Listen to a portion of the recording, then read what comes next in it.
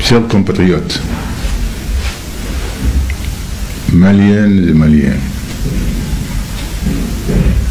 soldats, sous-officiers,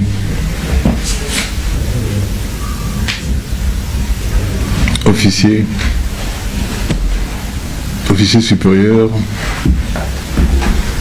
officiers généraux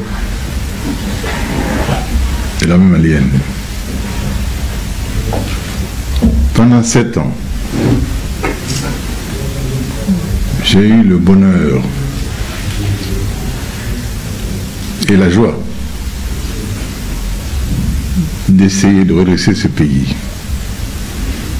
du mieux de mes efforts. Car dès l'abord,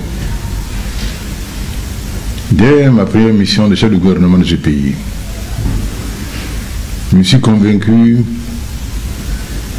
des efforts fabuleux qu'il fallait mettre en œuvre pour redonner corps et vie à l'armée malienne. D'où cette idée de loi de programmation et d'orientation militaire.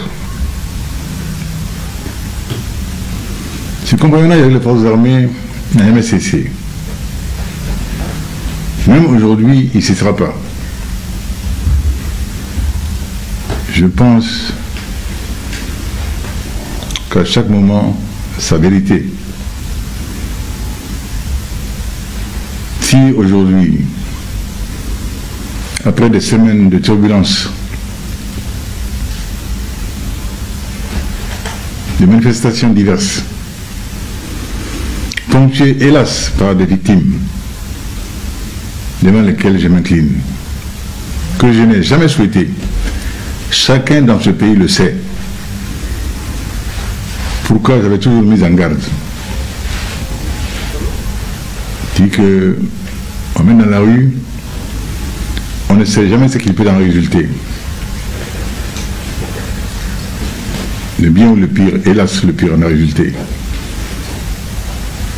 Si aujourd'hui, il a plu à certains éléments de nos forces armées de conclure que cela devait se terminer par leur intervention, ai-je réellement le choix m'y soumettre? Car je ne souhaite qu'aucun sang ne soit versé pour mon maintien aux affaires. Pourquoi? Je voudrais, à ce moment précis, tout en remerciant le peuple malien de son accompagnement au long de ces dernières années, de la chaleur de son affection, vous dire ma décision de quitter mes fonctions, toutes mes fonctions à partir de ce moment.